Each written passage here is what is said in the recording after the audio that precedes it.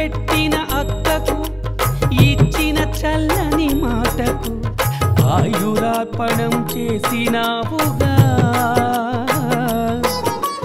ఎంతటి త్యాగమది త్రిమూర్తికి నీవిచ్చిన